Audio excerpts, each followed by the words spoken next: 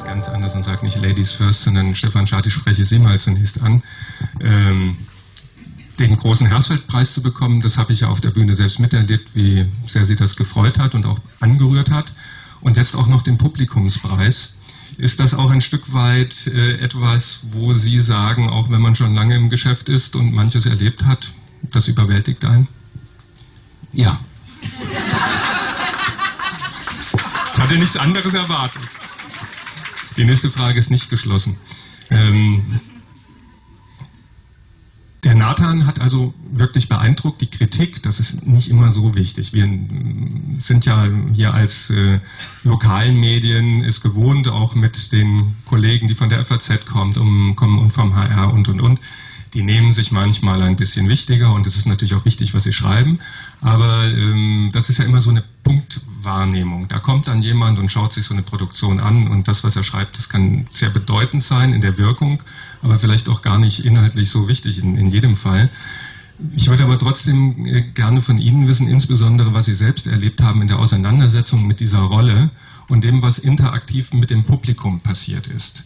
Ähm, haben Sie erwartet, dass das so aktuell noch funktioniert, Nathan der Weise, dass die Leute so berührt werden von dieser Inszenierung? Na, ich sag mal so, ich habe das natürlich gehofft. Ne?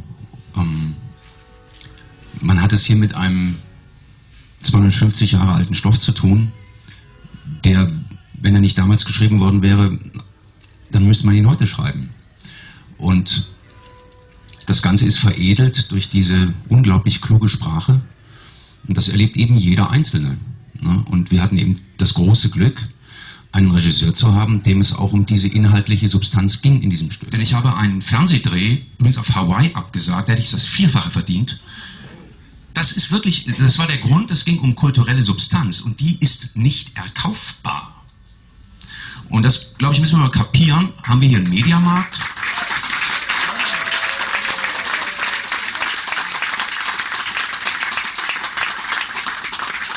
Oder geht es tatsächlich um etwas, dass jemand hierher kommt und das Gefühl hat, da findet was statt, das hat mit mir und meinem, mit meinem Leben zu tun? Ich gehe in den Mediamarkt und das ist nicht, ich will das nicht äh, diffamieren, ich gehe auch in den Mediamarkt und dort befriedige ich meine Konsumbedürfnisse. Das ist sehr begrenzbar möglich äh, bei Nathan der Weise, dass Menschen ihre Konsumbedürfnisse dabei befriedigen. Darum geht es nämlich nicht.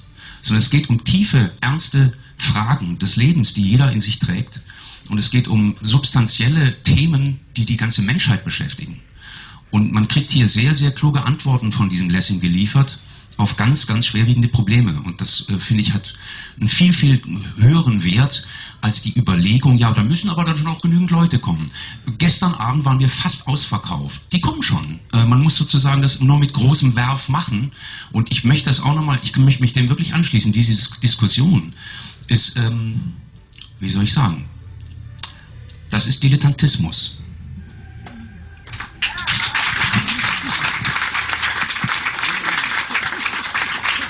Aber nochmal auch vielleicht ein Statement für Sie, als jemand, der beteiligt sein durfte und dem das ja so augenscheinlich auch was bedeutet hat und Freude gemacht hat.